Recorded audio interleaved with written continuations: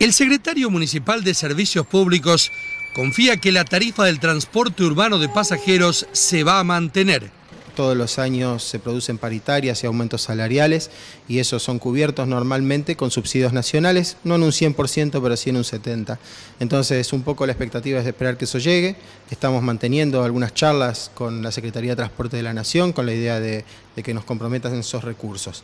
Suelen llegar con dos meses de retraso, con lo cual el municipio y la empresa privada están haciendo los esfuerzos para garantizar el pago de los salarios sin problemas, con la idea de que esto luego se, compense este, en un par de meses. Por otra parte, considera que por ahora no se justifica una suba de la tarifa de los taxis. Nosotros tenemos algunos estudios que dan cuenta de variaciones de los insumos del sistema en un promedio de un 5%. Valoramos que ese promedio no amerita hoy una discusión de tarifa. La variable que no se ha tocado todavía y que esperamos que, bueno, que haya alguna novedad en un futuro es justamente la de la mano de obra. Esa variable sí tiene una incidencia importante, pero bueno, el día de la fecha no se ha firmado ninguna paritaria, ni ningún acta acuerdo, ni entre el sindicato de peones y sus titulares que permita avisorar qué va a pasar respecto a los salarios.